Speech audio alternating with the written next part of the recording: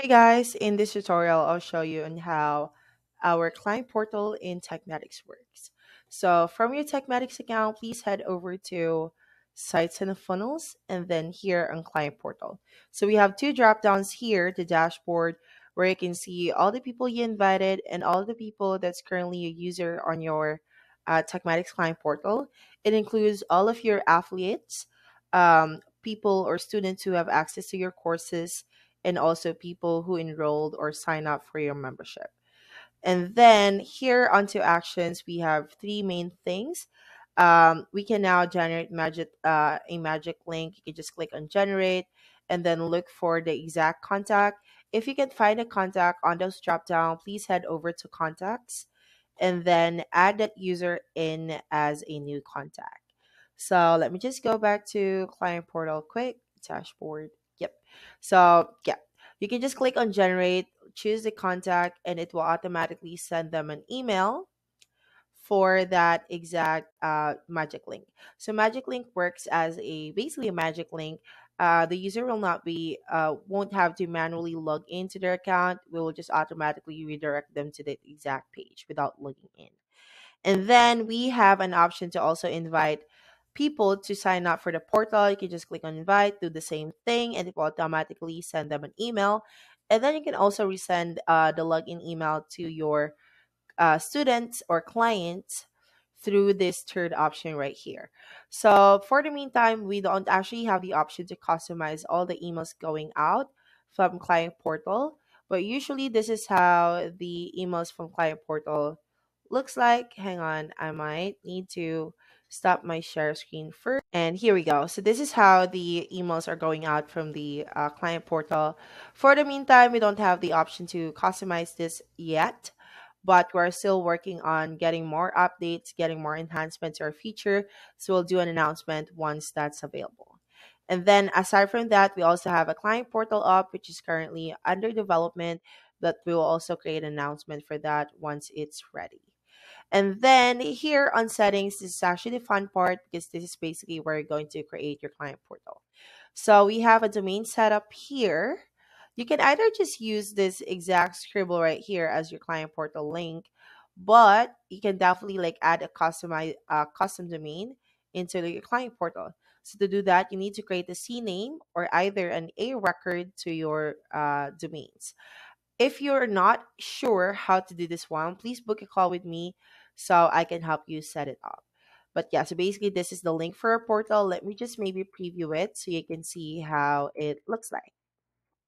Let me just drop it over here. Um, yeah, it's still thinking, but let's see. Okay, so this is how the client portal works. So the client portal actually has three main features included in. So basically, it's a one-stop shop for everything. So the very first one where you can see is our communities tab. And then here on the left hand side, they have the option to switch from one communities to another, but we also have an option to disable it so it won't show into the switcher. So some of the people will not uh like you know will have the access to uh just basically join if you if you want to just like you know keep that exact communities private. On this communities tab, we have like three different things. We have learning where you can add in like free courses, uh, paid courses and stuff like that. And then people where you can see all the people that's currently a member in your communities. And then the great thing about it, let's have for example, uh maybe let's have Nat. Okay, this one. Um, it doesn't have anything here. Let me just try to check on the other one. This one. Ah, it doesn't have anything here. But usually it will show up their uh, social sites, their emails, what are the contributions to the uh, for the communities and stuff like that. But your users also have the option to minimize or not like show their phone numbers or emails if they want to have privacy for that. So yeah, so the three main features um, for our um, client portal is first is community, and when you click on this nine dots on the right hand side, you can see that we also have courses and we also have affiliates. So if you're running affiliates inside TekMatix, if you don't know how to do that, we have a tutorial on our YouTube channel on how to create an affiliate inside TekMatix. And if you don't, uh, if you're quite unsure how to do it, just book a call with me and I can jump on with you. So I don't have any statistics or data for our um, affiliate, but essentially this is how it looks like. Um, all of your affiliates will show here all of your statistics and stuff like that. Uh, your leads and customer will go in this tab. Your commission, total commission will show here. And then we actually have an option to add in a media. So if you want your affiliate to market your um, your product or your like you know anything that you offer, um, you can add in all the media files that you want them to use in order for them to market your products. So yeah, so how cool is it? So uh so that's basically affiliate. And then here on our on the last part we have courses. So basically courses is where all of the courses that your student will have access to goes. So yeah. So under all courses, we have all of the courses, including all the upsell. This locked icon is actually upsell. If you want to learn more on how to create a course upsell into your TekMatix uh, courses, uh, we have a tutorial on how to do that, and you can still like book a call with me if you're quite unsure. And then they have the option to toggle to my courses if they don't want to do the upsell and they just want to see all of the courses they have access to. So yeah, so that's how it looks like. And then yeah, so that's basically it. Uh, but what I'm going to do is I actually want to like put emphasis with the communities because I want to show you how this one works. Uh, let me just head over to the main setup first. Uh, yeah, let's leave communities for now. I'm going to show you something. Uh, another thing that I forgot is the branding. This is where you're going to customize how your client portal looks like. So, for example, for TekMatix, our site is portal.tekmatix.com, right? So, let me just head into incognito so you can see how our sign up page looks like or our sign in page. So our sign uh, sign in page for TekMatix portal is pretty much customized. This is how it looks like. Uh, this is the cover image. This is the icon, or I mean, uh, the logo, and this is the favicon on top. So you can do that under the client portal branding. I'll show you where to find it in a bit, and then all the branding colors can also be included. Let me just close this one down. Let me just go back here. So yeah. So just put in all of your branding here, your favicon, your portal image, and your logo. And then put your support email in here so people can contact you whenever they have trouble logging in. And then yeah, so that's basically it. So that's how you're going to customize your client portal. And then let me head over to courses and membership because I'll show you all the cool stuff we have under communities. Let me just go to settings. You can definitely like add a different uh I mean, you can definitely still use the same um, domain that you got in client portal and communities because it's basically on the same section. So if you already have set up the domain under client portal, just leave it as is. So let's hop into groups. So for our groups, you actually have the option to put it on as inactive if you don't want to keep that group and you just want it to be gone. And on top right, you have the option to filter all the groups showing up uh, for example, all the active groups, if you want it to show up, just toggle on active. If you want to show all the inactive group, just toggle on inactive. But let's just switch on to active. And then this is where you're going to create your group. So these are actually like basic things. Just chuck in all of your personal information or all of the customization you want to show up for your communities. And let me just show you the communities, like the actual communities. It's actually in here, but I'm just going to like preview it into the actual page. Um, let's just wait for that one to load. Yep. So this is how our TekMatix communities looks like. You can definitely like add multiple channels here. Let me just move this over.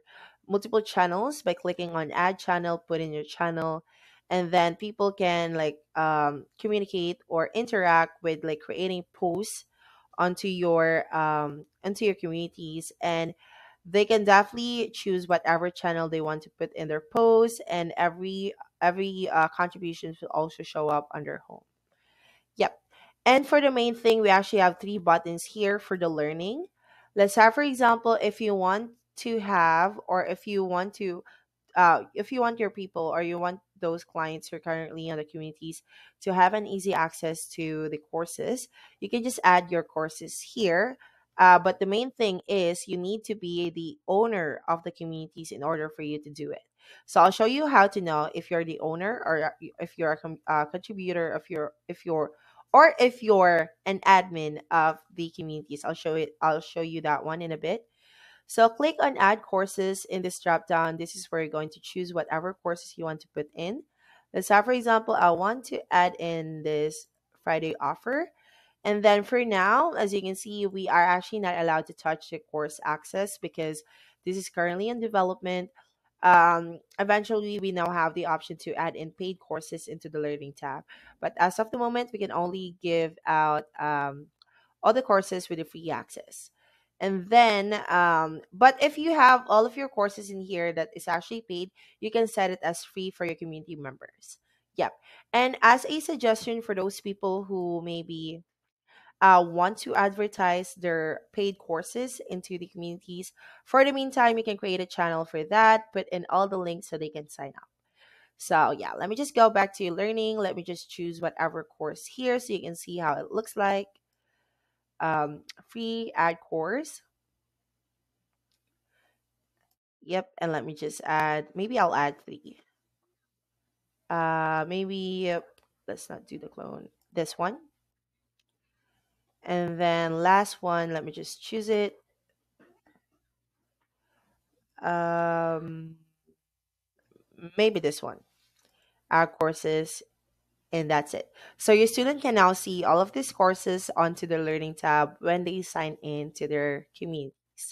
So yeah, and then lastly, the people where you can see all the people that uh that is currently a member on your communities, and uh this is actually how you can see if the if the user is the member, the owner, or the admin or the contributor.